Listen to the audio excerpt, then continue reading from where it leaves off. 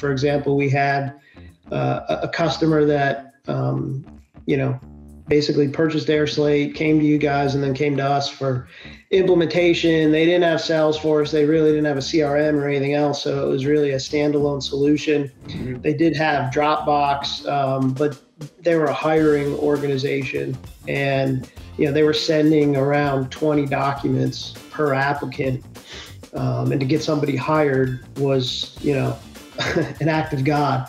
Not only was there like 20 documents going around, but there was three or four people on their end that had to touch it and review it, and then there had to be some supporting documentation uploaded. So we basically uh, assisted them with bringing that process completely into a standalone version of AirSlate, and you know probably eliminated. I think they quoted 20 or 25 hours of work per week. Yeah, great. So. Um, OMI's been around for uh, over 21 years. It'll be 22 years next year. Um, and really, we pride ourselves on delivering, you know, solutions and uh, service excellence in, uh, the SaaS industry, software as a service, basically. Um, you know, we like to be the go-to resource for emerging mid-sized companies. You know, so we really focus our services on the the SMB market. But those emerging mid-sized, com- uh, you know, companies are the ones that we really, you know, focus our services on, um, and we deliver services in the Salesforce stack, the Dynamics 365 stack, obviously with AirSlate, and uh, with another partner called FlowGear, which is an iPaaS uh, integration platform as a service. We do a lot of digital transformation services around that. We also have, you know, a couple of our own products in the marketing automation space. Um, you know, so basically we assist our partners and customers, you know, to basically grow and dominate their niche. Um, so I'm the I'm the COO at OMI, and I also head up the professional services practice, which includes um, you know those products I talked about, Salesforce, Dynamics 365, our AirSlate professional services, and our FlowGear professional services. What were some of your goals, or what are some of your goals for the OMI AirSlate relationship that we have? Yeah, so really, um, I mean, it's to grow both of our businesses, right? Um, you know, so we partnered with AirSlate to assist your customers, which you know sometimes they happen to be our customers as well because they're on Salesforce or Dynamics or sometimes you know some other system and they come to us. But basically, to you know assist those customers with launching AirSlate or the Sign Now product, integrating it either uh, as a standalone into their custom applications or into Salesforce and Dynamics. Um, we also here at OMI utilize, you know, AirSlate. We've integrated that into our uh, Salesforce instance where we use it for master service agreements and uh, sales orders that come directly out of out of Salesforce. Uh, how did you first learn about us, and what was the relationship like, and how did you sort of begin the process of partnering up? Yeah, so I think we kind of stumbled into this. Um, you know, right away figured out that there was there was a match, um, and there was a gap that needed to be filled right on both parts. Um, you know, so AirSlate was growing, its customer base had um, you know some investments coming in. Uh, you know, was again was growing, um, and saw a lot of their customers, uh, you know, needing some assistance with you know implementing uh, slates or custom logic or custom integration, whether it be with Salesforce uh, or their platform or Dynamics. Um, so you know we kind of we kind of stumbled upon it. Um, I believe it was through one of our joint partnerships with uh, uh, with one of our channel partners, AppDirect or AppSmart. We had some joint customers that we were doing some things for, and they needed some assistance, and that kind of kicked off the conversation. And you know, so we we came into it that way. And and how long has it been? It's only been about eight months or so, I believe. Of why customers integrate AirSlate with Salesforce. And before we even do that, is it Salesforce and AirSlate, Salesforce and SignNow, and then is there any 365 as well?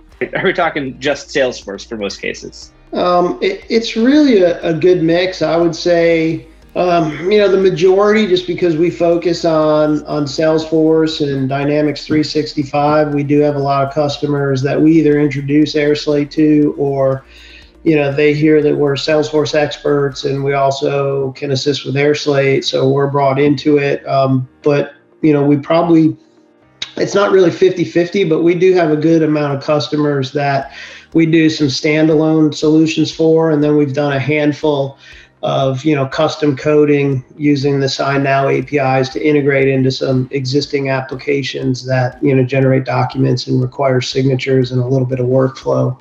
It's a good balance right now for us from customers that have come to you and they're not mm-hmm. doing any integration um, and they're just doing some standalone um, you know processes that they're moving into AirSlate or you know they're doing something a little bit more complicated, uh, integrating it into Salesforce, you know, mostly on the, the sales side, essentially.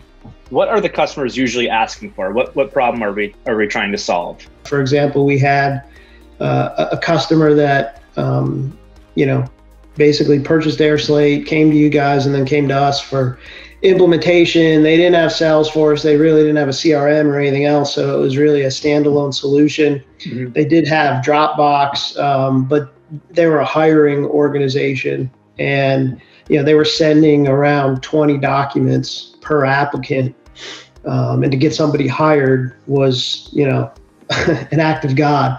Not only was there like 20 documents going around but there was three or four people on their end that had to touch it and review it and then there had to be some supporting documentation uploaded.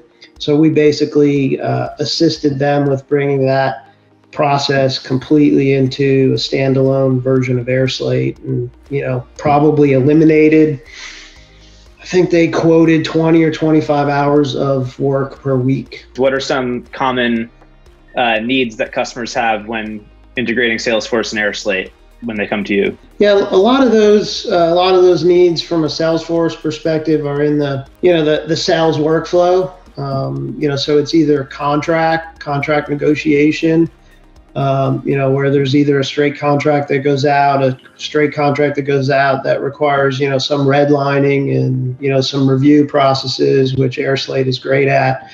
Um, you know, and then once you get through that process, there's the process of, you know, generating quotes or sales orders. Um, you know, so along those lines, that's that's where we find most of our, you know, AirSlate integration and work is in that um, you know that that sales process essentially you know through mm-hmm. ordering so what would you say is the breakdown between current airslate users who come to you to bring salesforce into the mix versus current salesforce users who come to you to bring airslate into the mix believe it or not, it's it's probably close to 50-50. You know, that's probably just because of our focus. Any other sort of high level examples or summaries of, of how um, how AirSlate or SignNow users are working with you and what, what they're trying to do with with Salesforce integrations? We have a customer that's in the legal uh, legal space. Again, that just kind of comes back to you know significant amount of documents that have to go out for review approval signature. Um, you know so it's it's not specifically sales but you know so another type of use case you know focuses around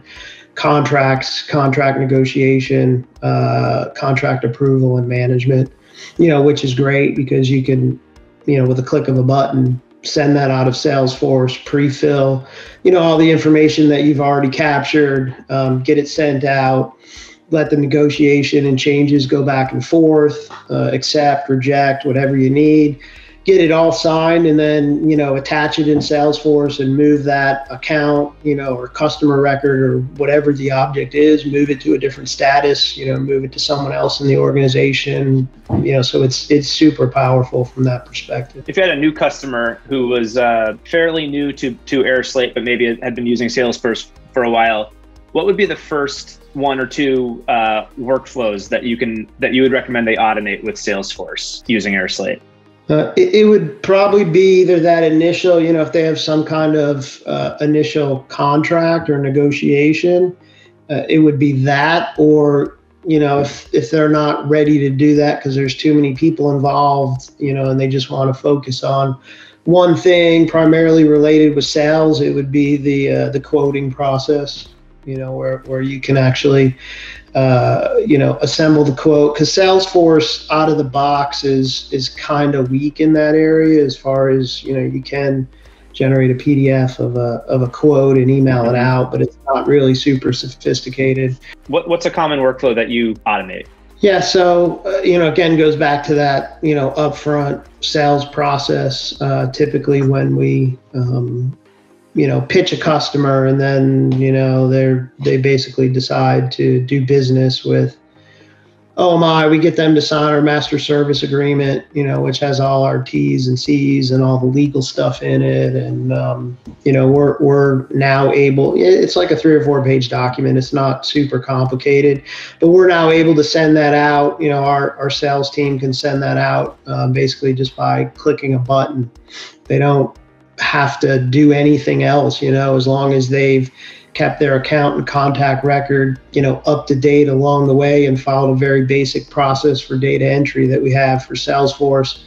They basically click one button, that master service agreement goes out. There could be some, you know, sometimes it goes out with reviews, sometimes we don't, you know, we don't send it out for sort of redlining, but at the click of a button, you know, that goes out and the customer gets it same day, next day, they'll send it back. Again, we've sort of already done the dance to a certain extent, so they're ready to engage us.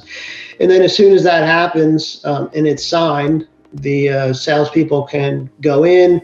You know, they've already got their opportunity set up inside Salesforce, and you know we use quotes in Salesforce, which are you know really our sales orders.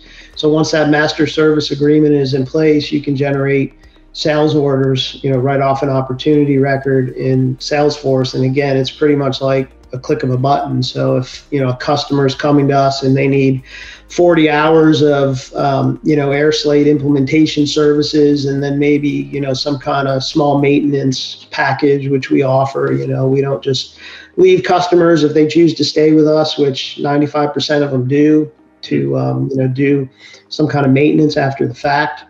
Right. Um, the the salesperson adds those two line items on the sales order um, or the quote essentially, clicks a button in Salesforce, goes out just for customer signature, comes back and you know we assign a team. Um, so it's it's basically we used to use two different systems to do our master service agreements and then you know kind of you know transfer opportunities and quotes to uh, to sales orders. Now we've been able to kind of consolidate that, and you know it, it's almost as simple as the click of a button.